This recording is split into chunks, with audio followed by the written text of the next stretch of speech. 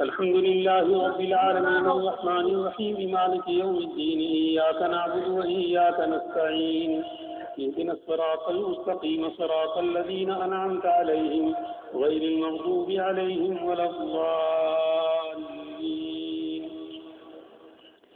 إذا زلزلت الأرض زلزالها وأخرجت الأرض أثقالها وقال الإنسان ما لها؟ يومئذ تحدث أخبارها بأن ربك أوحى لها. يومئذ يصدر الناس أشتاتا ليروا أعمالهم. ومن يعمل مثقال ذرة خيرا يره. ومن يعمل مثقال ذرة شرا